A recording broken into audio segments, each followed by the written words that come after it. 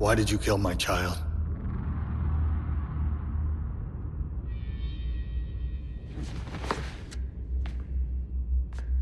I will ask you again.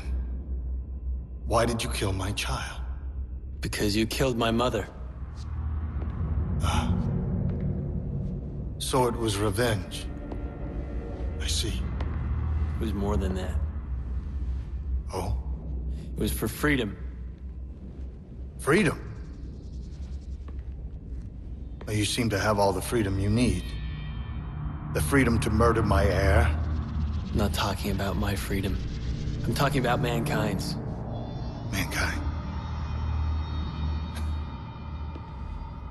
And what would mankind do with freedom, do you suppose? Because when I arrived, they had it. And what do you think they did with it? They fought. They killed. They starved. I brought prosperity. I brought structure. What have you brought?